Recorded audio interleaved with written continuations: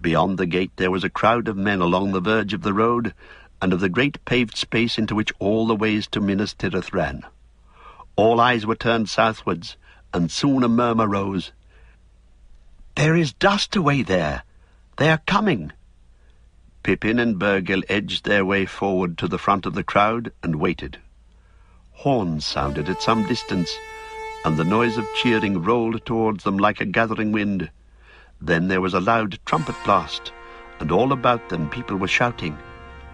Forlong! Forlong! Pippin heard men calling. What do they say? he asked. Forlong has come, Bergil answered. Old Forlong the Fat, the Lord of Lossarnach. That is where my grandsire lives. Hurrah! Here he is, good old Forlong. Leading the line there came walking a big thick-limbed horse, and on it sat a man of wide shoulders and huge girth, but old and grey-bearded, yet mail-clad and black-helmed, and bearing a long heavy spear. Behind him marched proudly a dusty line of men, well armed and bearing great battle-axes. Grim-faced they were, and shorter and somewhat swarthier than any men that Pippin had yet seen in Gondor. Forlong, men shouted. True heart, true friend, Forlong.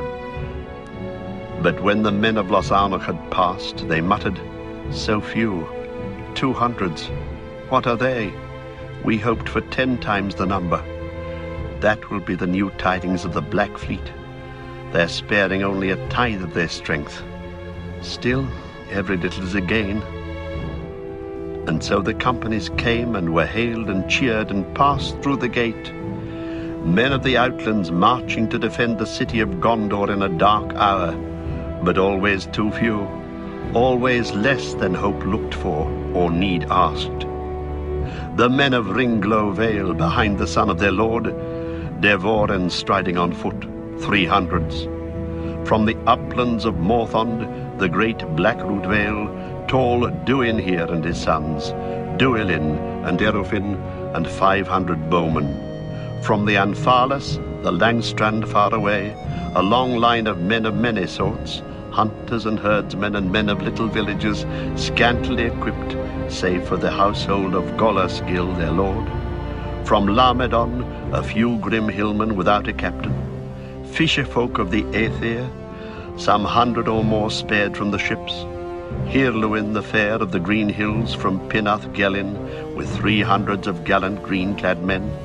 And last and proudest, Imrahil, prince of Dol Amroth, kinsman of the Lord, with gilded banners bearing his token of the ship and the silver swan, and a company of knights in full harness riding grey horses, and behind them seven hundreds of men-at-arms, tall as lords, grey-eyed, dark-haired, singing as they came. And that was all, less than three thousand full told. No more would come. Their cries and the tramp of their feet passed into the city and died away. The onlookers stood silent for a while. Dust hung in the air, for the wind had died, and the evening was heavy. Already the closing hour was drawing nigh, and the red sun had gone behind Mindolluin. Shadow came down on the city.